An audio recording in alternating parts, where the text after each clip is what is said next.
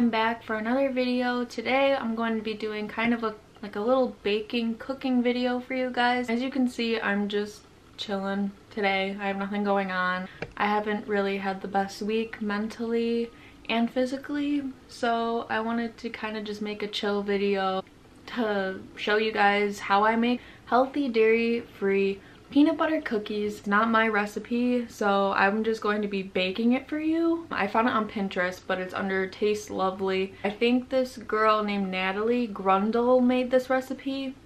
She's in charge of like the taste lovely website so i'm going to be linking everything down below. So if you're interested in this cookie recipe keep on watching. Hey guys, okay, so you're going to need to get your all your ingredients together. So I'm using Smart Balance peanut butter, creamy and crunchy, baking soda, vanilla, coconut sugar, and one egg.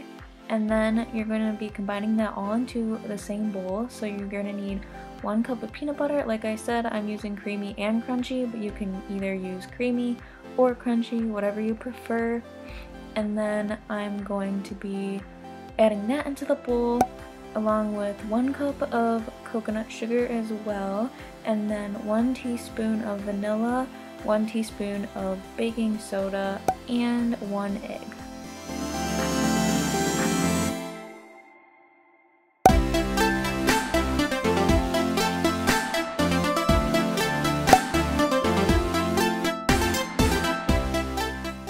Once you get all your ingredients into the bowl, you're just going to be stirring it with a spoon until it gets to a good consistency and then it's going to get a little harder to stir towards the end.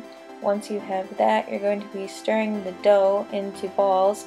I usually get around 20 to 22 and then you want to make sure they all have enough space in between them all so they can puff out enough. And then after that, I use my fork and do a little checkered pattern on them. I don't think you necessarily have to do this, but I think it's better for them to puff out better. And then I set my oven to 350 degrees and then set my timer for 9 minutes and then you just wait for them to bake.